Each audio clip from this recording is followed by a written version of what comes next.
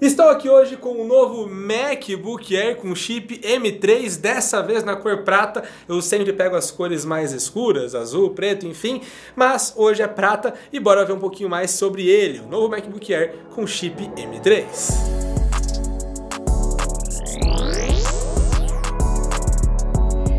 Começando direto pela caixa, temos aqui um desenho lateral do MacBook aberto na parte frontal. Temos aqui na parte de trás os lacres, que daqui a pouco nós tiramos, mas antes vamos ver aqui um pouquinho das informações da ficha técnica. Esse meu modelo aqui é o mais simples, tem 8 GB de memória RAM e 256 GB de armazenamento SSD. Mas saiba que você pode configurar essa máquina da maneira que você preferir. Aqui no site da Apple você consegue fazer algumas simulações, colocando ali com 512 GB de SSD, 1TB, 2TB que é o máximo, ou mesmo 16 ou 24 GB de memória RAM. Bizarro, né? O MacBook Air M3 mais potente possui 24 GB de memória RAM e 2TB de SSD. Nem sei o preço disso, mas com certeza vai ser muito caro. Mas continuando aqui, o meu modelo é o mais simples, como eu já disse, e ele deve agradar a maioria dos usuários. Tirando então os lacres e abrindo a caixa, nós vemos então o computador de fato e embaixo dele nós temos o cabo USB tipo C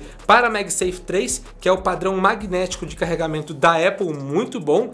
Temos também aqui, é claro, os guias rápidos, os certificados e os adesivos da Apple, né? Detalhe, esses adesivos, perceba, eles estão na cor que você escolheu o produto. No meu caso, os meus adesivos são prateados porque o meu computador é prateado, no caso é prata, né? Para finalizar o conteúdo da caixa, nós temos por aqui um carregador simples de 30 watts com apenas uma porta USB tipo C e aqui é válido falar que, caso você opte por comprar o MacBook Air com 512, 1 TB ou mesmo 2 TB, você já recebe o carregador de 35 watts, um pouquinho mais potente. E detalhe, ele tem duas portas USB tipo C, então você consegue utilizar uma porta para carregar o Mac e outra para carregar o teu iPhone, o teu iPad, o teu Apple Watch, enfim, como você preferir. Dando uma olhada agora no computador, vemos que aqui nada mudou em relação à geração anterior. Temos aqui as mesmas dimensões, as mesmas características, então tudo igual. Vamos lá dar uma pincelada aqui. Antes eu quero falar que ele continua com um conector P2 para fones de ouvido aqui na lateral direita, enquanto na esquerda nós temos a porta MagSafe, como eu já expliquei, é o padrão de carregamento proprietário magnético da própria Apple. E também temos aqui duas portas USB tipo C, que também são Thunderbolt e podem ser utilizadas para carregar o Mac. Inclusive, eu não faço uso do carregador MagSafe ali, eu prefiro USB tipo C, porque aí eu só levo um cabo para carregar todos os meus dispositivos, iPhone, smartphone Android, enfim, tudo, não precisa levar alguns cabos. Eu prefiro assim, mas você, ao comprar o MacBook, escolhe a maneira que você preferir de carregar o MacBook. Eu sei que tem as duas opções e isso é muito bom. Vale dizer aqui que essas entradas USB tipo C também são Thunderbolt e elas suportam até duas telas 6K com a tampa fechada. Você também pode utilizar a tela do MacBook Air aberta, mais um monitor 6K e tudo certo. Inclusive, essa é uma das vantagens desse novo MacBook Air com chip M3. Suporte a tela 6K, até duas, tá? Claro que não é a mesma coisa você ter um MacBook Pro, que o próprio nome já indica, né? É um MacBook Pro feito para profissionais. Você pode utilizar também essa máquina, o MacBook Air, como profissional, é claro, tudo depende do seu uso, tá? Mas, cara, MacBook Air com chip M3, 16 ou 24 GB de RAM, cara, é um absurdo. É uma máquina muito, muito, muito boa. Mas, falando em termos de performance, potência e tudo mais, o MacBook Pro M3 suporta até 4 telas e tem outras vantagens também. Tela melhor, áudio melhor, etc. Hoje o vídeo é só de unboxing, primeiras impressões, comentários sobre o MacBook Air M3. Não é nenhum comparativo. Talvez a gente faça no futuro. Inclusive, aqui atrás de mim eu utilizo um MacBook Pro com chip M3 Pro. Então, talvez eu grave um comparativo aí para saber qual é o melhor custo-benefício para você porque essa é uma resposta que depende muito do seu uso, né? E pessoal, eu tô falando aqui do MacBook e tal, mas eu ainda não citei como eu comprei e quanto eu paguei nesse carinha aqui. Se liga nesse valor aqui no site da Apple Brasil.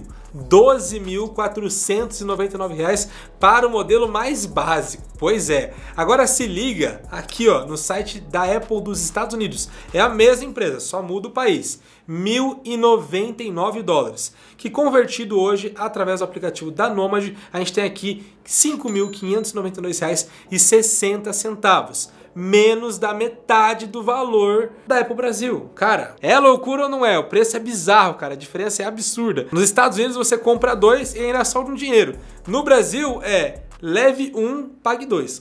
Basicamente isso, né? Mas, como eu falei, essa conversão de câmbio eu fiz aqui ó, através do aplicativo da Nomad, que é uma conta global em dólar feita para brasileiros e é uma conta muito top que eu realmente utilizo no meu dia a dia, tanto em viagens para o exterior, é uma conta global, então não funciona só nos Estados Unidos, porque é em dólar, funciona no México, Argentina, Paraguai, vários países. E cara, eu utilizo tanto quando eu vou viajar, como também para compras online, como é o caso desse vídeo aqui. Eu comprei esse MacBook no site da Apple dos Estados Unidos e importei para cá e cara, saiu muito barato. Inclusive, ó, eu já publiquei esse vídeo aqui, ó, se liga nessa thumb, ensinando como eu importo, quais são os meus segredos e cara, funciona maravilhosamente bem. Aproveitando também para fazer uma propaganda para o meu canal, vou deixar o link desse vídeo aqui na descrição, assim como também irei deixar o link para você abrir a sua conta Nomad sem taxa de abertura, sem taxa de manutenção aqui na descrição. Na primeira linha já vai ter o link, tá pessoal? Esse link, somado ao meu código de convidado, meu cupom,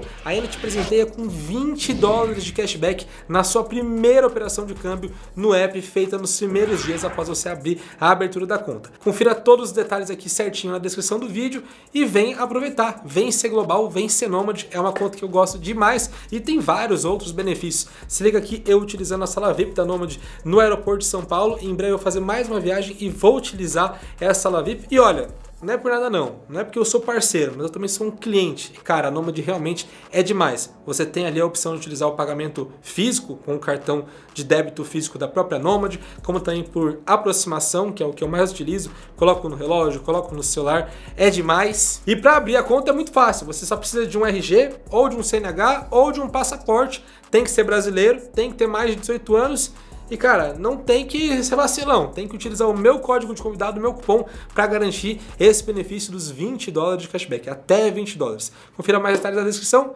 e é isso aí, bora continuar o vídeo aqui. Quanto às características técnicas, vemos aqui que ele traz a mesma tela do MacBook Air com chip M2, com um Note no topo para webcam de resolução Full HD. Essa aqui é uma boa câmera, mas também nada demais. A tela tem 13,6 polegadas, conta com resolução 2560 por 1664 pixels e brilho máximo de 500 nits. Basicamente, a mesma configuração do agora antigo MacBook Air com chip M2. Inclusive, ele segue com um conjunto de quatro alto-falantes posicionados todos embaixo do teclado. Em alguns casos, você consegue abafar o áudio utilizando as suas mãos. Não é o meu caso, eu não tenho o que reclamar, só elogiar, acho o áudio muito bom. O dos MacBooks Pro é melhor, sim, mas esse aqui também tem um áudio muito legal, muito bacana e eu tenho certeza que você vai curtir também. A bateria dele, de acordo com a Apple, dura até 18 horas, mas isso é para o modelo de 15 polegadas. A Apple não fala nada em relação ao modelo de 13, tá? Algo que me impressiona também nesse laptop é o peso. Ele é bastante leve, tem 1 kg e 240 gramas, não cansa de jeito nenhum. Você pode utilizar é, colocando ele na mochila nas costas, cara, tranquilo, na mala, na mão mesmo, você carrega aqui no braço enfim, cara, você definitivamente não vai se incomodar, não vai cansar. Não vou dizer que você não vai cansar, né? Mas eu não me canso, cara, é top. É um computador muito leve, muito portátil, não é nada grande, cabe em qualquer mochila, é excelente. E para finalizar o tópico de bateria, só voltando um pouquinho atrás, vale dizer que em 30 minutos mais ou menos na tomada, ele recarrega de 0 a 50%, mais ou menos 30 minutos, 30, 40 minutos. O que é uma boa notícia no final das contas, visto que 50% de bateria significa algumas boas horas dependendo do seu uso. Um uso misto eu diria que 5 horinhas. Bem legal, né? Ele já vem com o macOS Sonoma instalado, a última versão do macOS, mas a estrela aqui é o chip M3 que traz algumas diferenças em comparação ao chip M2. Bora falar sobre isso agora. Temos por aqui suporte ao Wi-Fi 6E e Bluetooth 5.3, tecnologias de conectividade mais recentes que trazem mais estabilidade, velocidade, etc. É um computador mais preparado para o futuro de fato. Sobre performance, alguns benchmarks mostram uma melhora de cerca de 10 a 15% em capacidade bruta, ou seja, se você está em dúvida entre MacBook Air M2 e MacBook Air M3, saiba que é a diferença de 10 a 15% no geral. Ele também ainda tem suporte ao Ray Tracing, que é um recurso que tende a aprimorar os detalhes da luz, sobremento em jogos, mas definitivamente esse não é um recurso que vai fazer os gamers aderirem a esse computador, nada disso. Então assim, legal, torna os games mais realistas, dá uma impressão melhor, mas esse ainda não é um computador para quem de fato gosta de jogar. Ele é para outras situações. Para quem gosta de jogar, ele pode servir, mas para games mais leves, games simples e nem tem uma variedade assim grande nos Macs, né? ou melhor, para Macs. Também temos por aqui um motor de decodificação AV1, recurso que pode ser extremamente útil para algumas pessoas, alguns profissionais, principalmente para quem trabalha com edição de vídeo. A gente trabalha aqui com edição de vídeo, mas esse não é um recurso que nos faz brilhar o olho, porque não vai mudar em nada a nossa edição hoje em dia, então não é o nosso caso. Tipo, é o nosso caso, mas ao mesmo tempo não é o nosso caso, então indiferente pra gente, mas a gente cita aqui com uma vantagem em relação às máquinas anteriores.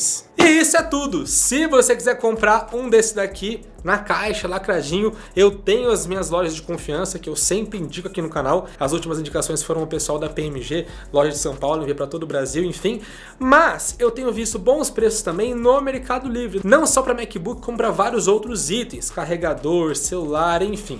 Eu vou deixar algumas opções aqui de cores, armazenamento, opções que estão com preço legal para você comprar direto aqui no Brasil, em até 10 vezes sem juros em alguns casos, tá? Então confere a descrição com anúncios confiáveis e no precinho, não deixe de conferir. E eu sou o Matheus Kais e vou ficando por aqui. Gostou do vídeo? Deixa o like, se inscreve no canal e espere mais e mais vídeos. Já comenta aqui embaixo o que você quer ver em relação ao MacBook Air com chip M3. Beleza, pessoal? O vídeo de hoje foi. Tamo junto, até a próxima.